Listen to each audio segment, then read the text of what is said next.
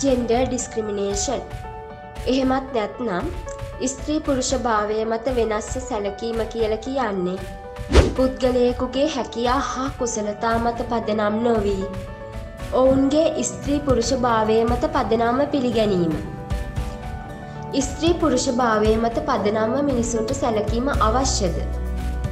ඉතිහාසයේත් වර්තමානයේ එක් මිනිසුන්ගේ හැකියාවන් හා කුසලතාවන් ස්ත්‍රී පුරුෂ භාවය අභිභවාගිය අවස්ථා අපි කොතෙකුත් දැක ඇතිද. රටක සංවර්ධනයට මෙය බලපාන්නේ කොහොමද. ස්ත්‍රී පුරුෂ භාවය මත වෙනස්ස සලකන්නෑ කියල කියන්නේ කාන්තාවන්ට දැනට පවතිනවට වඩා වැඩි අවස්ථාවක් දෙනව කියන එක නෙමේ. පොදුවේ හැකියාවන් හා කුසලතාවන්ට අවස්ථාව දෙන එක.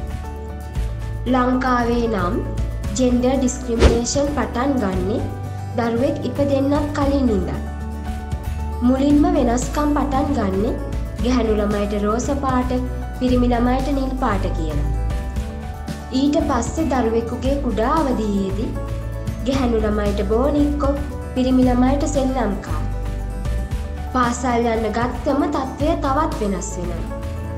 බාලිකා පාසල් බාලක පාසල් කියල වෙන් කරනවා. එකම පන්තියේ ගැහැනු ළමයි පිරිමි ළමයි වෙන්වෙන්ව වාඩි කරවනවා. උසස් පෙළ විෂයන් තෝරා ගනිද්දි රැකියාවක් කරන්න ගියාම කේදනීය තත්ත්වයක් තියෙන්නේ.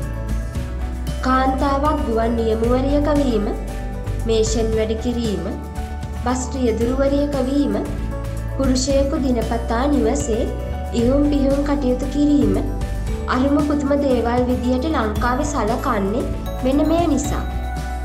මේක වෙනස් කරන්න නම් කරන්න ඕන හැකියාවන් හා කුසලතාවන්ට ප්‍රමුඛතාව දෙන ආකල්පයක් ඇති කර ගැනීම. සුදුස්සාට සුදුසු තැනවීම රටක සංවර්ධනයට ඉතා වැදගත්. අපි මෙය තරුණ ව්‍යාපාරය තුළින් අරබමු. Thank you, we are Salon Youth Movement, a country with a thoughtful youth.